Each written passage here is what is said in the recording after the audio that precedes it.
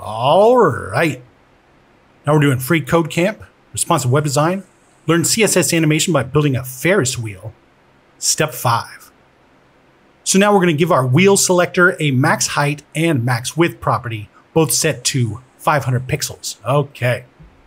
So we'll do this right here. I'm just going to take both of these, copy them, come to the end of this semicolon, and uh, drop that right there. I'll put max hyphen in front of both of these. Max hyphen oops, in front of both of these. That's not max, that's nax.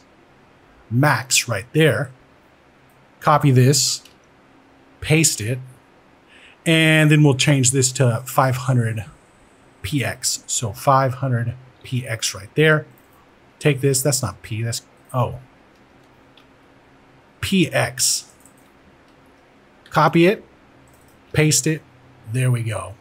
Uh, it doesn't look like it did anything, but we are also not probably not worried about the max height. Oh no no no, we can probably uh, do that. Let's do Alt and no Control and the mouse wheel out.